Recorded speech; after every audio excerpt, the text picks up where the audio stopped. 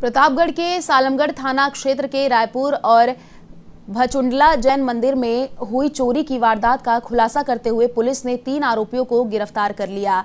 आरोपियों ने मंदिर से चांदी के सिक्कों समेत हज़ारों की नकदी पर हाथ साफ़ किया था, जिसके बाद पुलिस ने गहन जाँच कर आरोपियों को धर दबोचा। फ़िलहाल आरोपियों से पूछताछ जारी है, जिसमें कई वारदातों के खुलासे की संभावना है।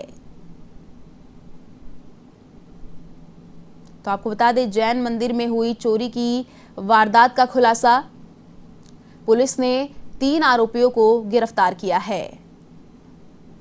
जैन मंदिर में चोरी की वारदात का खुलासा। आपको बता दें, पुलिस ने तीन आरोपियों को गिरफ़्तार किया।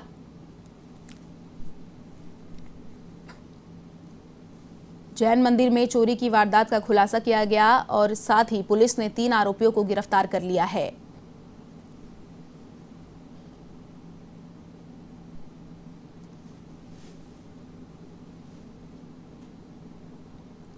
जैन मंदिर में चोरी की वारदात का खुलासा हुआ है। तस्वीरों में भी आप देख सकते हैं कि किस हिसाब से पुलिस मुस्तैद है और तीन आरोपियों को गिरफ़्तार कर लिया गया है।